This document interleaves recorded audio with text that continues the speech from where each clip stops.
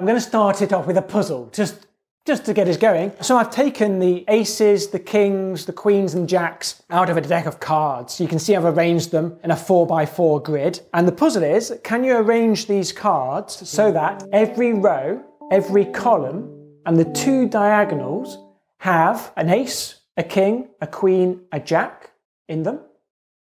And every row, column, and the diagonals, I also want them to include a club, a heart, a spade, and a diamond. It's like a Sudoku. It is like a Sudoku. So try it out. It's, it should be the same kind of thing as a Sudoku. Uh, there is a solution. I'm not trying to catch you out. There are many solutions. So try and find a solution. How many solutions can you find? My rows are already working. I've got ace, king, queen, jack in each row. And I've got club, heart, spade, diamond in each row, but my columns don't work. What do I need to do? This ace can't be in the same column as an ace. And I don't want to put it there either. I can't have hearts in the same column as hearts. What about if I just swap these two over? Let's see, is there anything wrong with that? I don't, oh, I've got my kings though in the same column, so maybe I could swap those two over. But if I keep thinking about it, I want my diagonals to be like this as well. I've got a club and a club.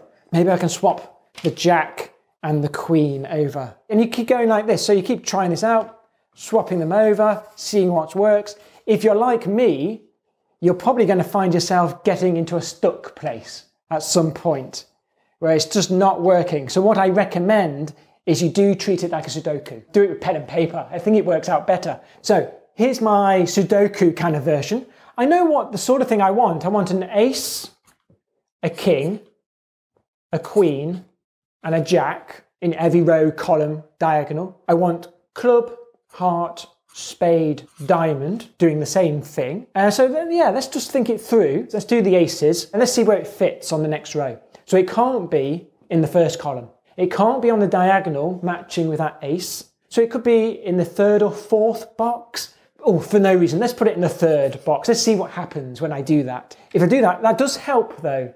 I'm going to look at the fourth row because I can't do this first column, I can't do the third column, and I can't do the diagonal either. So it can't be in that box at the end. So it has to be there, which means I now know where the last ace goes. It has to be on the third row, fourth box.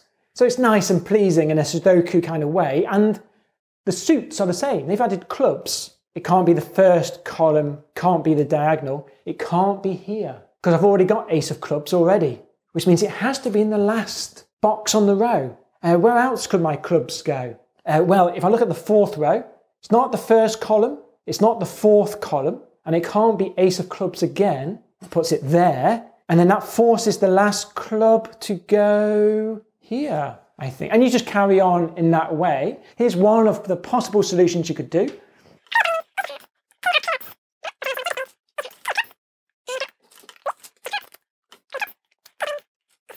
So the last row is going to be, we'll need the king, we will need the ace, we will need the jack, and right there in the bottom, queen of hearts, and that should work. Every row, every column, and the two diagonals as well has an ace, king, queen, and jack and also one of each suit clubs, hearts, spades, and diamonds. It's kind of like a Latin square. Latin squares are quite famous. It's kind of like a double Latin square, really. A Latin square would have four objects, and I want these four objects to appear in each row and each column. It doesn't have to be the diagonals, by the way. I, diagonals is fun for a puzzle, but it's not going to be what we're going to do for the maths. If I just had them as A, B, C, and D, I want A, B, C, and D to be in every row and every column without matching up. So I could have A, B, C, D, A, B, C, D, A, B, C, and D like that. That's a Latin square. Yeah, what we're doing is kind of a double Latin square. I could do another Latin square in the same boxes I'll use the numbers 1, 2, 3 and 4 this time so it looks different. So we can start off with 1, 2, 3 and 4 and then fill in the rest of them. So it's a Latin square and I want each combination to appear once only. So if I do the rest of it, it would be 1, 2, 3, 4, 1, 2, 3, 4, 1, 2, 3, 4, like this. So it's two Latin squares and they're kind of superimposed on top of each other, but every combination occurs once. It's called a, a Greco-Latin square and it sounds like a pure maths thing, has loads of applications in, in real life maths. Um, I was taught it in statistics. And it doesn't sound like something you would be taught in statistics, but it is something that you would use when you're designing experiments. Imagine you're organizing uh, some sort of tournament. Um, whatever, ping pong tournament. Okay, you've got the ping pong tournament, very exciting. It's a four day tournament, right? It's a big deal. And you've got team letters and team numbers, if I use this. So on the first team, it's A, B, C, and D. On the second team, one, two, three, and four. And let's say your slots for playing games are 8 a.m., 10 a.m., uh, then there's a 2 p.m. slot and a 4 p.m. slot. Isn't it a bit unfair if you have to play at 8 a.m. first thing in the morning, you might not be playing at your best. So it would be fairer if every player got to play a game at 8 a.m. If every player got to play one of these slots, then that would be a fair thing to do, and that's what's happened here. It would also be fair if every player, A, B, C, D, gets to compete against every player one, two, three, four. And that's what's happened. You've arranged the tournament so that every player gets to play each opponent and every player gets to play in each slot. So everything's nice and fair, but also it allows you to make comparisons. Let's say I wanted to compare player A and player C. I can compare them because both players have played in each slot and both players have played all the other opponents. So if you add up their total score, you can tell which is the better player. They use this idea for designing experiments. So there aren't these little hidden biases. So you can uh, arrange your experiment so that those kind of biases are all spread out and everyone are put in the same situation. So then you can make comparisons between two different things. So this works for a 4x4 square. Does it work for other sizes? Okay, 2 by 2, 3 by 3. In fact, it doesn't work for a 2 by 2 square. It's too small, it just doesn't work. We have A and B, and well, let's put A and B here. I've relaxed the diagonal rule now, and we've got 1 and 2. Now, where am I going to put number 1 here? I can't put it there because I've already done this, and I can't put it here because it would be in the same column. You'll find that you can't do it for a 2 by 2 square. Too small, it's impossible. You can do it for a 3 by 3. So if you've got a prime number size, a nice little rule is, let's start with ABC. Let's take the first Latin square, and for each row, I'm going to advance it one place across. So now I'm going to start on the second square, and it will be ABC. And then for the next row, A, B, C. For my next Latin square, with one, two, and three, I'm going to advance them two steps across. So for the next row, let's move it two steps along have one, two, and three. And then from the next row, let's go another two steps along. So go one, two, and three. And you see, hey, that works. So we've got this Greco-Latin square, this double Latin square, for 3 by 3. We can do it for 5 by 5 as well because it's a prime number. So obviously the next question is uh, 6 by 6. Does it work for 6 by 6?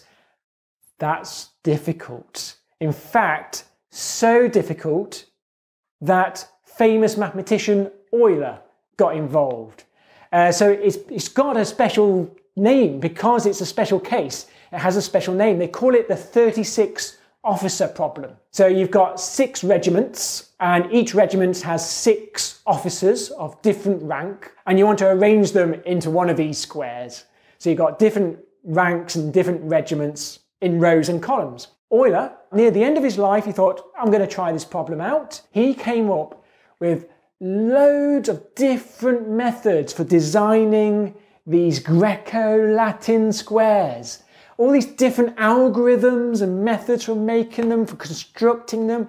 And he made three by three, four by four, five by five, seven by seven. He could make eight by eight, nine by nine. Everything that he tried failed for six by six. And he said, I don't think it can be done. I keep trying, it keeps failing. I've not found a single solution. if there is a solution, it's gonna be some kind of crazy irregular pattern. I don't think it can be done. And I can't see a way of showing it without just checking every possibility. So he said, well, two by two can't be done. Six by six can't be done. And for the same reason, he decided 10 by 10 squares can't be done. 14 by 14 squares can't be done. Odd numbers, fine. He could do the multiples of 4.